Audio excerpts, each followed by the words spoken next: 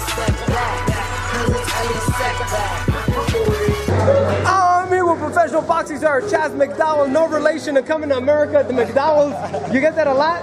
I do, I do. Everybody. What do you tell people? You own McDowell's? I, have, I didn't even see the movie, so. Really? No, I haven't. Oh man, tell them about the movie. Gotta see the movie, dog. You got one of the best You're gonna movies. hear it, and they hear it all the time, so you might as well know what they're talking about. Everybody, everybody brings it up. Like, oh, your last name is McDowell. Because the, the guy opens up a restaurant, but he doesn't call it McDonald's. He has the arches and he calls it McDowell's. And he, what does he call it? The Golden Arches or something? the uh, the Golden Arches, you know, you guys see it's a hilarious movie, you know what I mean? It's No a real doubt. funny movie. It's on Netflix. It has to be. It has to, yeah, it has to be. You should be able to find it everywhere, so it's damn near a classic. What do you think? You're here at the Mayweather gym. What's it like to train here? Um, it's intense. This is my first week here. Um, I came here to focus on my career and um, just rejuvenate myself. And, and but it, it's, it's great work. A lot of great talent here. A lot of great people to work with. Mayweather, Canelo, break it down. Mayweather, I see Mayweather outboxing him.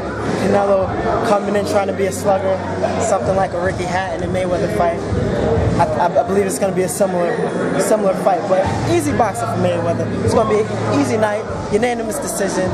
That's that's how I see it ended.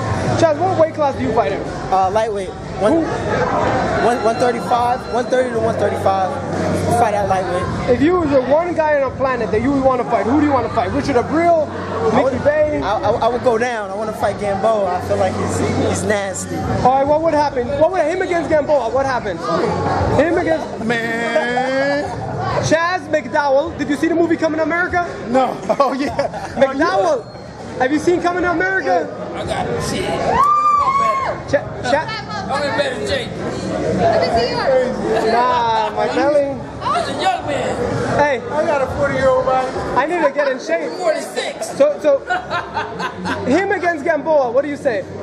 He's calling out Gamboa. He wants Man, Gamboa. Gamboa might be in some trouble, man. Better get it. Tell him. Tell him. I gotta work first. I gotta work. I gotta get right. So there you have it. We'll look out for you. We'll never forget your last name, McDowell. Stay tuned right here at Mayweather Boxing Club. EsNewsReporting.com and Seckbach reporting.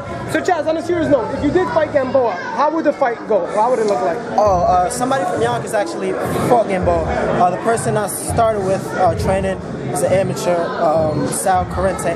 Got his name, but um, Sal Corrente trained him.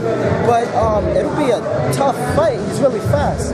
He's really fast. You think you can stop him or knock him out? Or Nah, I don't have power. I, I, I box. I you use my- got- But he's the boxer. I He's the Cuban. Yeah, You gonna yeah. beat him in his own game? Um, I'm a great boxer though. I have great movement. Um, it, it'll be a technical fight. If I'm all the way in shape, it, it'll be awesome fight. Well, you're definitely at the right gym right now, doing what you can. So we'll stay tuned.